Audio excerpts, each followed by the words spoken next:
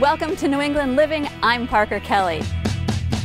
And I am passionate about art, architecture, and design. I also love to travel, meet new people, and I'm definitely a foodie. Join me each week as I travel all over this beautiful region, showcasing the most spectacular homes and meeting the key players involved in creating them. To top it off, I'll cook up some delicious dish with a chef, and we'll finish it off with a celebration of it all. I'm Parker Kelly, and this is New England Living. New England Living is brought to you by Marvin Windows and Doors, and also brought to you by Sub Zero and Wolf.